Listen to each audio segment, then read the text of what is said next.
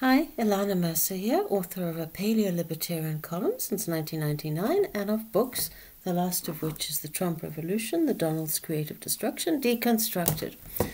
Your thought of the day How does evidence against something become evidence for that very same thing?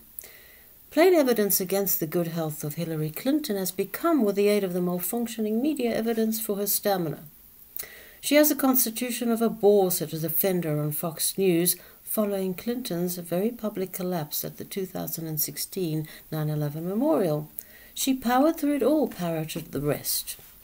Pneumonia blows over like the flu, was the consensus on MSNBC as they collected affidavit after affidavit from their reporters to swear to how humid, crowded, and uncomfortable it was for Hillary on that fateful day in New York.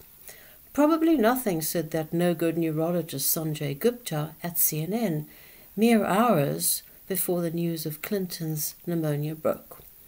How does a display of faltering health from Hillary become a reason to doubt the stamina of a man, Trump, who's like the Incredible Hulk?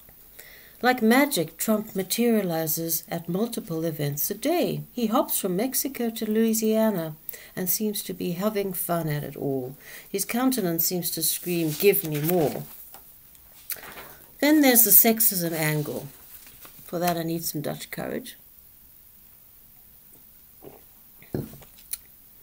How is it that we hold a female presidential candidate with pneumonia to a different standard than a male presidential candidate without pneumonia? Now, there's a no brainer.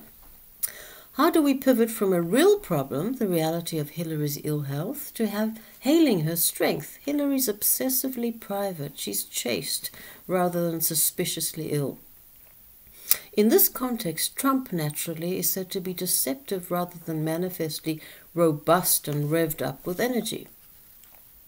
How does a display of deplorability by Hillary Clinton lumping in Her Highness's basket of deplorables millions of Americans in flyover country become a ruse to put VP candidate Mike Pence on the rack and extract a confession from this mild mannered man about the deplorability of a third unrelated party, David Duke.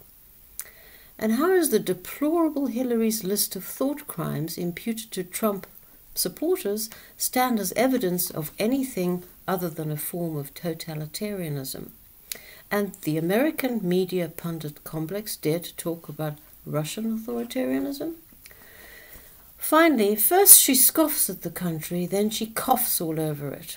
So tell me, how does Hillary Clinton's dangerous decision to cough her way around the country rather than come clean about her infectious disease and quarantine herself show that at the very least Hillary's decision making is profoundly flawed.